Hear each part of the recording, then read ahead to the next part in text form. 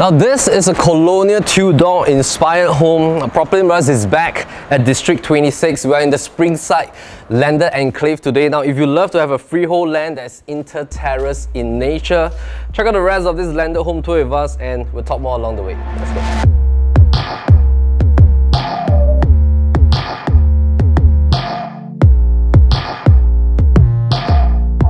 What is a Tudor colonial inspired home? Tudor is like a lighter version of the colonial neighbours. It's like a more modern version that gives you a lot of symmetry whenever you look at the fine lines between the black and white. When this was fully renovated in the year 2017, they literally spent close about 250,000 of renovation, heck of all the flooring, pipings were changed, air conditions were new. Beauty of buying a renovated unit, of course, is that you don't have to spend extra hard cash, extra months of renovation depending on the speed of our contractors. You save time for your family, you can move in straight on, all the key items are being re-renovated. We love the fact that you have this 6.1 meters ceiling height, giving you this extra loft space that you have. Right now, there's a total of four bedrooms plus an extra helper's room, three bathrooms, freehold in status. The land is 1851 square feet.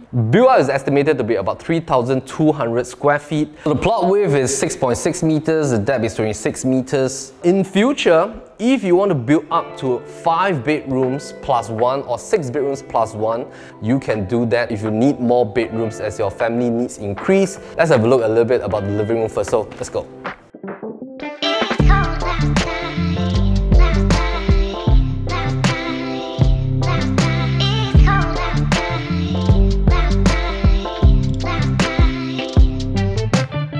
Okay, so there are two entrances to this home. You have this like beautiful huge door over here. Of course, digital lock has been installed. So this is like a nice huge main door that you have. This is an enclosable bifold door that allows you to close up both panels on the left and right side. So you can do this. There's a little bit of light design over there, a little bit more privacy. But in any case, your front gate direction is facing more towards the south-southwest direction. The back of the house is facing towards northeast. In terms of directional facing, it's very balanced. Nice two-door automated gate. If you have a super long car, this is definitely enough. You have like 10 panels of shoe cabinetry space right here, top and middle section. If you want to top out on the bottom, you can still do that as well beautiful vintage version lights. House condition is fantastic because all this were all hack and uh, late. Yeah, so of course the black and white blinds are inspired. This portion is really nice and then you can just sit here, make it like your own little mini garden. There's also a nice swing chair over there.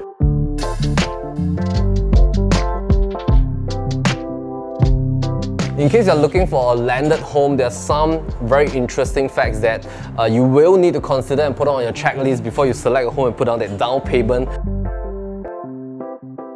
Now this is District 26. Now Springside now is like a whole cluster of landed enclave for the developers to continue building it. Springside Drive was the first few cluster that the developers has built. It's actually located one bus stop from the Springleaf MRT station that is stipulated to be completed. That is the Thomson East Coast Line. That's also where the famous Hans restaurant and a lot of eateries are. This line literally cuts into like four to five different interchange, like the downtown line, the future Cross Island line, the current Circle line, and of course the North-South line. Springleaf station brings you straight on to Orchard Boulevard and Orchard MRT stations. So in future, if your kids were to come home themselves, they don't have to walk very deep into the landed enclave, which is what a lot of parents are concerned about because sometimes when they come back a little bit later in the night. You enjoy the level of convenience and flexibility. Let's talk a little bit more about some of the facts of this home and uh, we've got to check out the renovation. Let's go.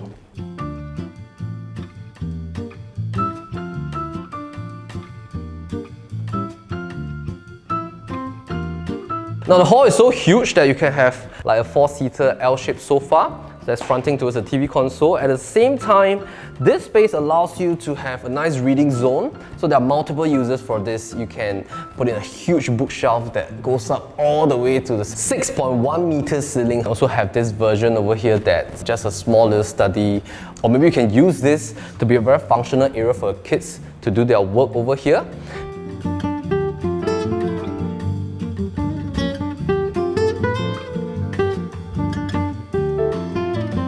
Roundish dining table. How many seater is this? One, two, three, four. Just like we're in a Chinese restaurant. Nice marble table over here. This is like a reminiscence of the house that we just saw at Simon Walk. That's what kids would love to play and I love to play this in Chinese restaurant when I was a kid. Now this is the part that the owners has done up with their own display. In order to have more wall space, it's of course important to distinguish whether do you like like uh, open kind of kitchen concept or do you want a little bit more enclosable version? But uh, if you want to have like a more enclosed kitchen kind of concept like what we have here that gives you the extra wall space that you need if you want to build up more storage space over at this wall line. So staircase is tucked right at this corner. There's an under staircase storage space over here as well but before we talk about the kitchen, uh, let's talk a little bit about some of the price behaviors, especially in the Springside region. Standard prices has really boosted up pretty significantly over the past one year. Right now, if you want to get an inter-terrace over at the Thomson, Upper Thomson area, I would say that it's really short in supply. But if you were to go upwards a little bit towards the Springside zone, you have one that is specifically a semi-detached enclave, and that's closer to the future MRT station at Springleaf. If you go one bus stop upwards, which is the region that we're standing right right now at Springside Drive opposite us at the Meng Suan. This whole entire cluster is a three-story mixed landed cluster. So you can go up to three and a half story building the attic level upstairs if you want to do a little bit of A&A. This is good for the long run for a family to keep this freehold land parcel. So let's have a look at some of the core differences if you're planning to do your own renovation. In terms of your cash outlay of your pocket, say $2.8 million, your 5% cash outlay, assuming you're using CPF for the balance 20% down payment plus your stamp duties, 5% outlay will then be at about 140 thousand dollars in terms of cash from your pocket towards the down payment versus buying something say like three million dollars but is fully renovated, just like this house, your cash outlay will be at about $150,000 for that 5% down payment. If you were to buy something that is not renovated at $2.8 million and then you pump in an additional $250,000 in terms of renovation, that will bring our total cash outlay to $390,000 versus buying the renovated house at $150,000. The difference is quite distinct when you buy a renovated and a non-renovated home. Of course, some buyers will love to buy a non-renovated home because you have your own specific taste. In fact, for this home, if you were to change the furniture color theme to a more neutral tone, you can actually go for a more Scandinavian kind of style and design. The color theme can be easily modified. Right now, I think it's time to have a look at the kitchen, so let's go. Yeah. You never lie You're never ever scared of the dark So why am I the one who cries? There are three portions that has been reconfigured. The first portion will be this fantastic dry kitchen space. Two-door huge Bosch fridge right here. There's loads of top cabinetry. I love the fact that there's this like pull out at the side uh, for you to put in your oven toaster and your microwave. There's also top and bottom, additional storage space. Now these are nice huge pull-out drawers. And then you can put in like loads of heavy plates and stuff and pots and pans. Beautiful marble top finish, plus has been catered. Sometimes you buy off the market landed properties that are built to sell. Families that has re-renovated their own home, they actually thought through the process of living and they will identify certain areas to put in plugs, certain power points, so these are very functional living experiences that families will want to have. This is also where the granny room is located. You have this nice sizable granny room right on level 1. Six panels of nicely done cabinetry space. This can fit up to a queen easily. I think it can also go up to a king. And then you have a nice dressing table, couch at the corner, so a nice granny room right on level 1 for your parents or maybe just as a guest room. Small little things like this drop down portion here is very important because this allows you to wash your kitchen without spilling water into the living room space. And then there's another drop down portion right here. You never lose an argument, so I've been trying hard to pretend. The second zone is this portion here. There's still like a separate thing with like a sensor like. This is also where the water dispenser is and there's some storage uh, cabinetry. You have your helper's room here, so you can also utilize this as your utility room if you don't have a living helper. And this is where the common bath on level 1 is being located at that opens up towards uh, the backyard. As we head over to the third zone of the kitchen, this portion has been totally redesigned. You still have a backyard over at this direction with a nice sliding panel door that has also been done with a tinted solar film. This portion right here at the back allows you for drying your clothes. It can be fully enclosable. Pump the aircon from the living room, it will flow right back to the kitchen. And not forgetting, there is still an additional sliding panel here. So in case you want to do heavy cooking, you just need to close this up and then you open up this sliding panel at the back and then you can do your heavy cooking right here. I love this wet kitchen the most. You have a very sizable two sink system at this direction and then you have an open flame cooker hood and hob plus a lot of tabletop space, movable, small little table right here. If you want to build a full-on island, that's still possible. There's still space over at this direction for a stainless steel kitchen cabinet system over here. Secondary fridge, and this is where your washer, you can put it a dryer as well. Beautiful roof that is done with ceiling fan. So I think let's head towards level 2. Let's go. Yeah, you and I both longing for expression for the things we like, but we stay quiet. Now this is the level that uh, your master room is situated in. Say loud, loud, wake the world on the other side, make it real, just let yourself go. Uh, what I want to show is this beautiful sitting height loft space here. You can see Beatrice from here. Hi Beatrice. okay, so this is the zone if you want to build up more bedrooms. What you can do is that get your builder do A and A and of course apply the BCA to level up this level. If you don't need to have that high ceiling effect, you can't use that left section for one of the bedroom and the right section for the second bedroom or alternatively, if you want to have one huge bedroom that's fronting towards the front, that is doable as well. So this can go up to a 6 bedder or a 5 bedder if you do this modification. Now let's have a look at the master room.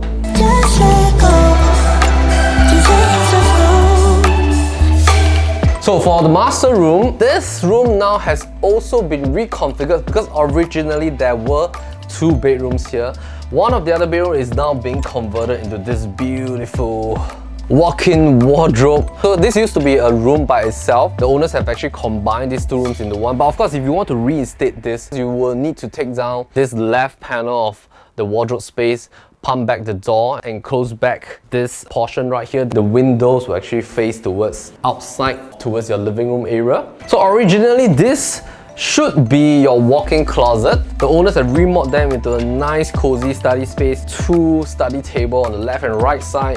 You can do your work at home right now. This is a fantastic space to be used as a dresser as well. You have a nice cozy little reading corner with two nice colonial armchairs right here. Bed space definitely can go up to a king. That's definitely possible.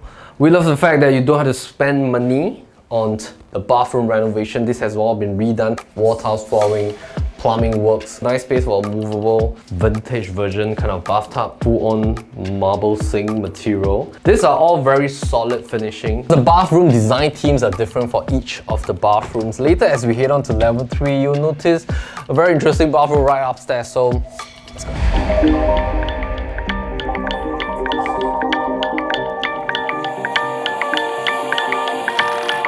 One thing about the Springside area is that there are a lot of parcels of land. If you live in a landed enclave with future developments, that would mean that in terms of overall quantum, that might increase or maybe the per square foot for the land PSF is going to increase as well. As long as there's upward movement in your landed enclave, that means that um, there's a safety price benchmark for your landed property right now.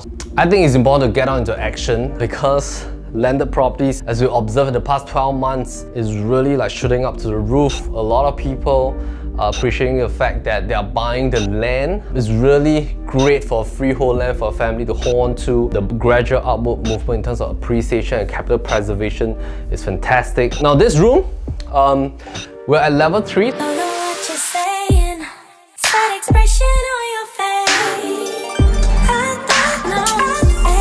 3, there are two bedrooms. One room is facing towards the back. You have two windows portion here. Uh, so it's a very bright room. You have this nice, oh, check this out. Nice capsule, um, but I shall not disturb the rabbits. This room is fantastic for a kid's room. This corner, I think is beautiful for your bed. This entire portion is for toys, study, books. A lot more room for kids to enjoy their space. Nice four panel wardrobes at this direction. This is also a very sizable room with two portions, super high bed. This is a built-in structure. You can remove this if you want a movable bed. But this is a nice storage bed because you have storage. Wow, look at this. I think you should keep this bed. Yeah, it's really great for toys. Dresser, study table, fronting towards the front. Now let's have a look at the view. On my right hand side, that's where the two private projects called the Brooks. They're fronting towards the main road itself. Now, of course on the left hand side there's greenery at the back. So I would say that Springleaf area, you're actually surrounded by a lot of nature and greenery, so the amount of airflow is fantastic. Opposite houses are actually quite a fair depth from us, so it's not too close. The road is a bit wider over here. The center line is divided by dotted white lines, so you can actually park your cars on the left and right side of both lanes. Mini living room area, you can put your TV here. Nice five panel wardrobe tucked in the corner. The entire parquet flooring has been darkened with dark lacquer. These two rooms, for the kids, they maintain it to be the neutral wood parquet color. So have a look at this. Nice, beautiful, what should I call it? Mermaid inspired or what do they call it? Uh? So we've decided that this should be called a seashell inspired bathroom. So you have a nice, I thought it's a seahorse but they say it's a unicorn. It definitely looks like a unicorn with that pointy top right here. So unicorn tap, mermaid stuff right here, seashell inspired flooring and wall tiles. Beautiful! Seashell dustbin. Waifu dolls, they save a lot of space. What I notice is you have this very useful linen closet. It's a place to put in all your linens, all your towels and everything. So a lot of thought process has been designed to the home. Let's head downstairs. I also love the fact that there's this nice little U-shaped curvature for the staircase. So you don't feel like you're running up towards a longish staircase. Why do people want to live in the Spring Springleaf Enclave is because they want to live close to nature, so close to Lower Peirce Reservoir, Upper Peirce Reservoir, MacRitchie Reservoir, Mandai as well. Bring your kids to the zoo. This home is really for families that wants to save the hassle of having your own renovation timeline. You want modern renovation with a tinge of uniqueness like this Tudor colonial inspired homes. Once again, if you want to change the theme of the home, it's can be easily modified according to your own preference. If you want to have a look at the physical place, do give our listings manager a call. The link is just right down below. They're Beatrice and Gavin. They will always be very happy to answer your inquiries. And if you do come for a physical viewing, our landed report is right on to show you some of the possibilities for this home and of the cost and quotation involved. Once again, my name is Melvin Lim, and as always, we're happy to show you the place. Take care. It doesn't even make sense. While we try to fight it. Hear the construction noise? King king gong gong, king king gong gong. How do I look? This mast It's you. Hi, Josephine. These emotions didn't want them, but I guess with them. They could go.